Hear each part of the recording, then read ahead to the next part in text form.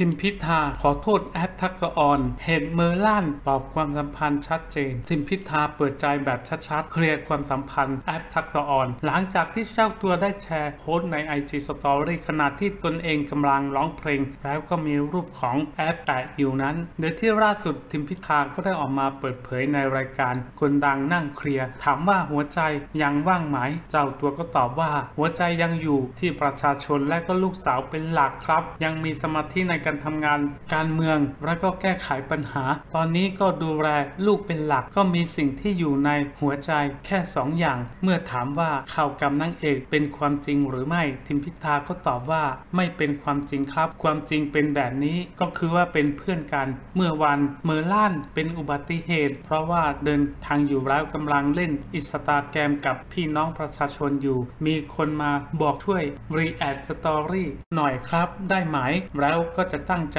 เรียน ตั้งใจดูแลสุขภาพ ผมว่างๆ อยู่เลยก็นึกสนุกก็เล่นไป re ไปก็เป็นร้อยๆ คนนะครับ แต่ก็ไม่มีเจตนาอะไรมาก ไปกว่านั้นก็ต้องขอโทษคุณแอปมากมาณที่นี้ด้วยที่ทำให้เกิดความเข้าใจที่ผิด และก็ขอโทษพี่น้องประชาชนด้วย